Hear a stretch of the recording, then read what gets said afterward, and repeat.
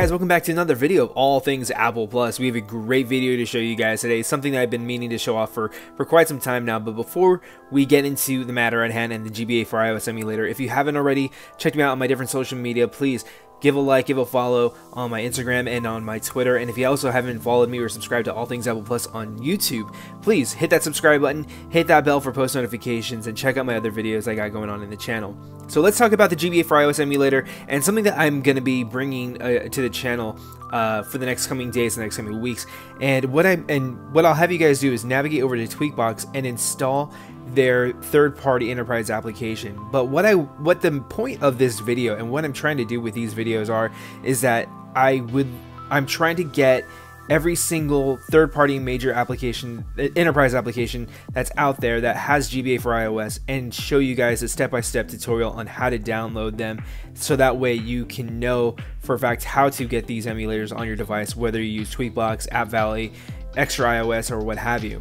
But if you navigate, with all that being said, if you navigate over to Tweakbox and you install their application and go under their Tweakbox apps, you'll be able to locate and find the GBA, I, GBA for iOS emulator, the Game Boy Advance emulator, and you can install that and download that into your device for free. No jailbreak needed. This is running iOS 12.1. I'm currently saving my, my firmware for jailbreak purposes later on. But if you get that eh, untrusted enterprise developer notification, please navigate over into settings. I'm gonna back out just a little bit. Go into settings, go under general. From general, scroll all the way down to profiles and device management.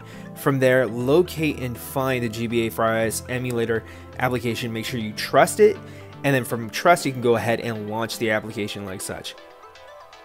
Now for this application, we're going to be doing a little bit something different. We I'm going to show you guys just how to get the an actual like for example Pokemon Fire Red. I'm going to go ahead and download that that ROM and then I'm going to show you the Dropbox sync that that comes to play especially when these emulators get revoked Dropbox Sync is an amazing tool that will allow you to save any sort of saved data and will allow you to resume and pick up back where you left off just in case if these apps get revoked and you don't have any sort of anti-revoke. But if you navigate into the uh, the website, the actual portal for you know you know, just search up any ROMs, you might find a GitHub. Make sure you change that through the settings, and then you can actually change it to Google, like I've done so. And then you can search for your ROM as you will. So I'm gonna look up the uh, the Pokemon Fire Red ROM, and let's go to the first link here. ROMs Mania has actually been a really good site to download any sort of uh, any sort of GBA ROM, and it's just been it's been useful, been really useful for me, really. So once you get to your ROM and you hit that green download button, you should receive a prompt that will ask you if you'd like to save the ROM and rename it to however or what you please. So once you do, it should show up as a zip file.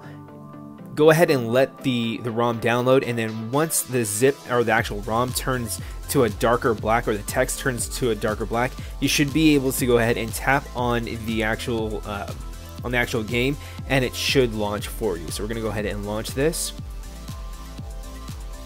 And as you see here, we do have the GBA for iOS and the and Pokemon Fire Red currently running no problems. Everything runs perfectly through this application. So let me go through the main steps here and then you can even speed up the animations. So just in case if you're trying to grind or if you're trying to level level jump, this is a great way to to be able to do that, especially if you want to pass through a whole bunch of you know if there's text or if there's a lot of dialogue, you can do that with the uh, with the speed or with the fast forward button there.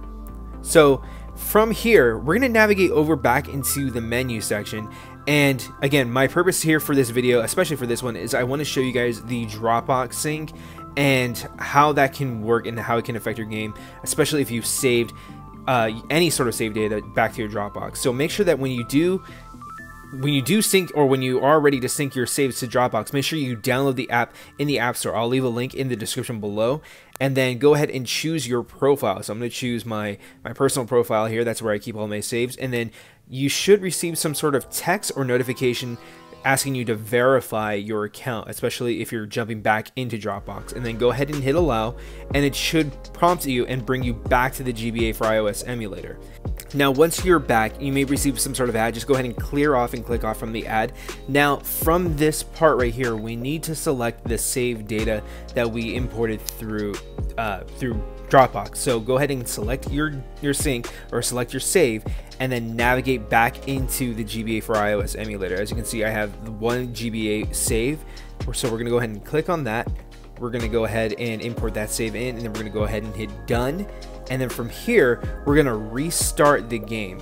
So like like before, when I downloaded and installed the actual ROM, I did not have any sort of save. I had no save data. It, it, prompted me to immediately go straight to the game.